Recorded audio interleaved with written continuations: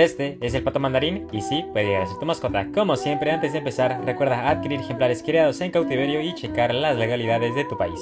Como sabes, los patos son aves que todo mundo come y dependiendo de tu localidad, definitivamente habrá depredadores, por lo que un refugio bien cercado es esencial. Estos se benefician de un gran espacio con escondites ya que son una especie tímida y un cuerpo de agua como todo pato. Sin embargo, estos también son considerados como patos de percha, o sea que les gusta subirse a las ramas de los árboles, por lo que alguna estructura con la altura se agradece.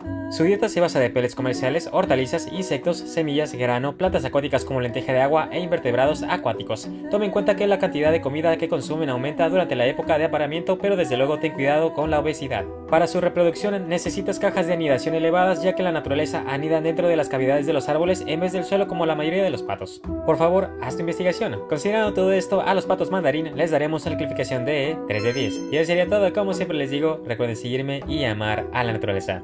Gracias.